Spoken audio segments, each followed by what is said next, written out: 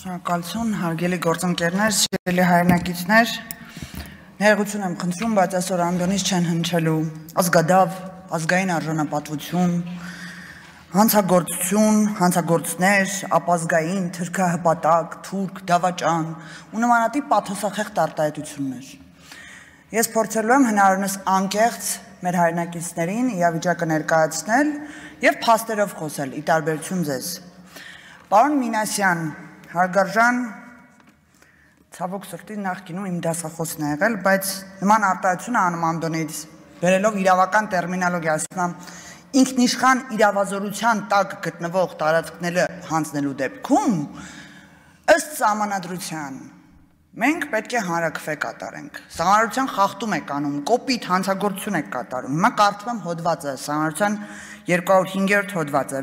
Վերպետական միջազգային կազմակերպությանը ՀՀ անդամակցությունը, ինչպես նաև Հայաստանի Հանրապետության տարածքի փոփոխության վերաբերվող հարցերը լուծվում են հանրակրվեների միջոցով, որտեղ կա ստեղ ինքնիշխան իրավազորություն տերմինը։ Չկա, հարգելի հայրենակիցներ։ Կարող եք բացել ինքներդ բարձել։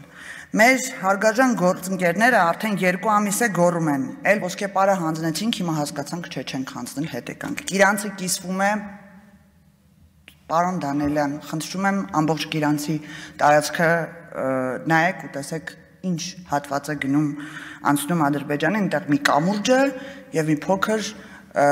հողատարածք ամբողջ Գիրանցի մասին չի կարող խոսքը գնալ։ Արցախը հանձնեցիք անցակ Տավուշին։ Սա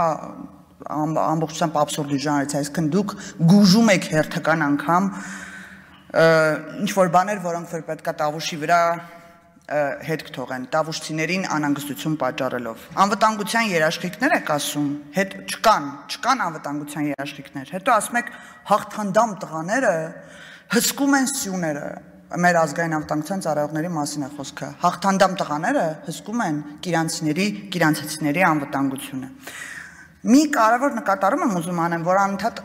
շեշտում է, որ Կիրանցեցին չի մնալու, Կիրանցեցին գնալու է այդ գյուղից։ Ուզում հասկանալ ինչի եք տենց հոգեբանական terror-ի ենթարկում այդ մարդկանց։ Գնացել եք Շուրնուխ, գնացել եք Որոտան, Երասխ, Պարուս Սևակ, Խաչի գյուղ։ Այդ բոլոր գյուղերը սահմանակից են։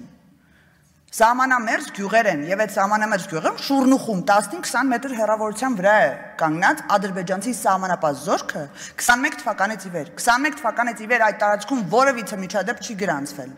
Ինչի եք անընդհատ հոգեբանական terror-ի միջոցով այդ մարդկանց ուզում այնպես անել, որ այդ գյուղը դատարկվի։ Փոխանակ հակառակը գնաք փորձեք մի լուծում գտնեք այնտեղ, մի մի ձևով աջակից լինեք, գնում եք այդ մարդկանց ավելի եք խորացնում նրանց հոգեբանական ծանր վիճակը։ Սիրելի հայրենակիցներ, մեզնից յուրաքանչյուրը շատ լավ գիտակցում է գործընթացի ցավոտ լինելու բնույթը եւ մենք ոչ մեկս երջանիկ չենք այս իրավիճակից, բայց սա լավագույնն է եւ սա միակ ճանապարհն է Հայաստանի Հանրապետությունը ունենա